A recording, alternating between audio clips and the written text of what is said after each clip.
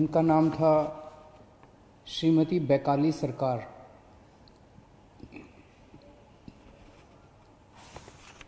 Corona की इस महामारी के दौर में वो दिल्ली के लोगों की सेवा करते करते उन्हें खुद कोरोना हो गया और उनका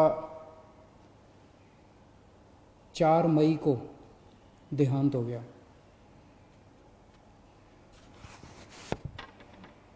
रोहिणी में रहती थी बैकाली जी और एमसीडी के स्कूल में कॉन्ट्रैक्चुअल टीचर थी। उनकी ड्यूटी लगी थी जो गरीबों के लिए दिल्ली सरकार खाना बांट रही है। हंगर रिलीफ सेंटर चला रही है।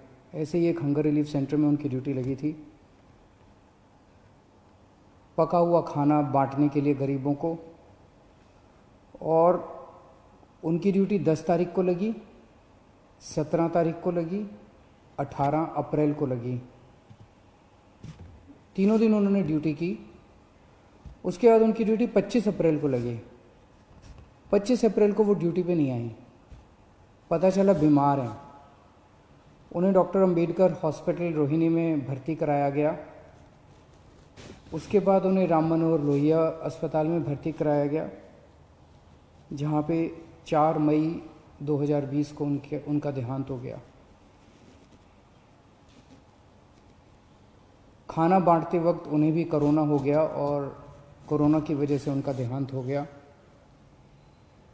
भगवान उनकी आत्मा को शांति दे, उनके परिवार को ये दुख झेलने की शक्ति दे। हम सब दिल्ली के लोग, सब देश के लोग अपने ऐसे कोरोना वॉरियर्स पर हम लोगों को गर्व है जो अपनी जान जोखिम में डाल के समाज की सेवा कर रहे हैं।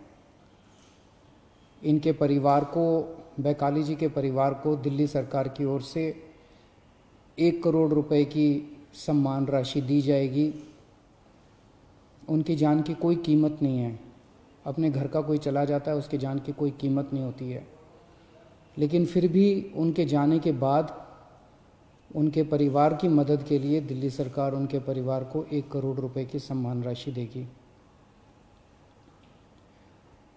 दिल्ली में कई सारे कंस्ट्रक्शन पे काम करने वाले मजदूर हैं, गरीब लोग हैं और कोरोना की सबसे बड़ी मार गरीबों को पड़ रही है। पिछले महीने हमने कंस्ट्रक्शन वर्कर्स की मदद करने के लिए सबके बैंक अकाउंट में पाँच पाँच हज़ार रुपये डलवाए थे। इस महीने फिर से उनकी मदद करने के लिए हम लोग उनके अकाउंट में पाँच पाँच हज़ार रुपये और डलवा रहे हैं। कुछ के अकाउंट में डल चुके हैं दोबारा और जो बच गए उनके अकाउंट में और डलवा रहे हैं। ये वाला तीसरा लॉकडाउन सत्रह मई तक है। सत्रह मई के बाद क्या करना चाहिए? इसके ऊपर कल प्रधानमंत्री जी ने देश के सभी मुख्यमंत्रियों के साथ चर्चा की थी। और प्रधानमंत्री जी ने चर्चा के बाद कहा कि कौन सा राज्य क्या चाहता है? आप कितनी ढिलाई चाहते हैं लॉकडाउन में? क्या क्या चीज़ें शुरू करना चाहते हैं? प्रधानमंत्री जी ने कहा कि आप पंद्रह तारीख तक अपने अपने सुझाव भेज दीजिए और उन सुझावों के ऊपर केंद्र सरकार फिर निर्णय लेगी कि सत्रह तारीख के बाद क्या किया जाए। मैं अपने दिल्ली के लोगों से आज सुझाव मांगना चाहता हूँ। आपको क्या लगता है? सत्रह मई के बाद ज़ाहिर सी बात है कि अभी कोरोना काफ़ी फैला हुआ है। लॉकडाउन पूरी तरह से तो ख़त्म नहीं किया जा सकता। क्या लॉकडाउन में ढिलाई दी जानी चाहिए? अगर ढिलाई दी जानी चाहिए तो कितनी ढिलाई दी जानी चाहिए?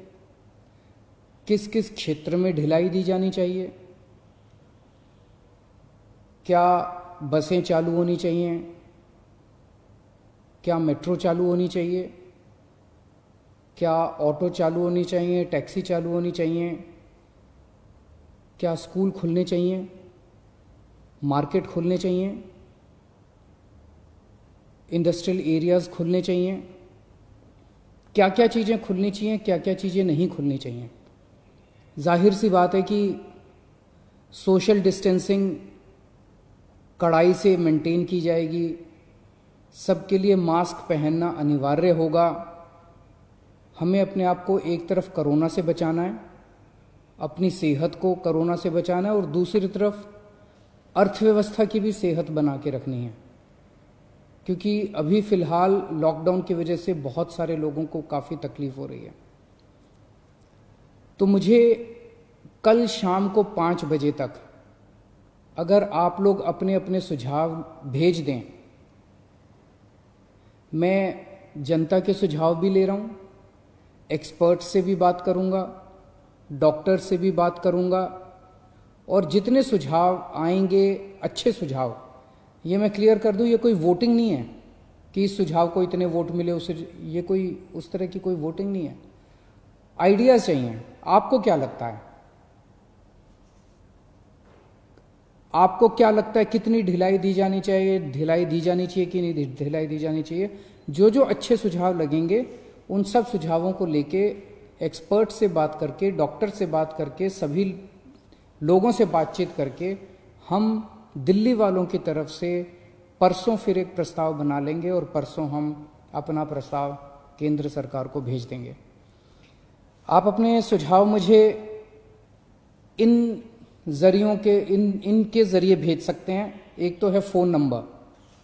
आप फ़ोन करके इस पे अपनी, अपने सुझाव रिकॉर्ड कर सकते हैं। One zero three one number है। दस इकतीस। One zero three one. इस पर फ़ोन करेंगे, आप अपनी आवाज़ रिकॉर्ड कर सकते हैं, आपकी आवाज़ रिकॉर्ड आपके सुझाव रिकॉर्ड हो जाएँगे। आप मुझे व्हाट्सएप के ज़रिए अपने सुझाव भेज सकते हैं? व्हाट्सएप का नंबर नोट कर लीजिए। Double eight double zero double zero double seven double two double eight double zero double zero double seven double two इस नंबर पर आप मुझे व्हाट्सएप भी कर सकते हैं, आप मुझे ईमेल भी कर सकते हैं। ईमेल एड्रेस है daily C M dot suggestions at Gmail dot com daily C M D E L H I C M daily C M dot suggestions at Gmail dot com आपके सुझावों का मुझे इंतज़ार रहेगा। आप अपने अच्छे अच्छे सुझाव भेजिए। आपको क्या लगता है इसके ऊपर? और आप सबके सुझावों के आधार पे और सभी एक्सपर्ट से बातचीत करने के बाद मैं परसों तक अपना दिल्ली वालों का प्रस्ताव बना के केंद्र सरकार को हम भेज देंगे। केंद्र सरकार उसके बाद तय करेगी कि सत्रह तारीख के बाद लॉकडाउन रहेगा, नहीं रहेगा, कितना रहेगा किस किस क्षेत्र में रहेगा। बहुत बहुत शुक्रिया।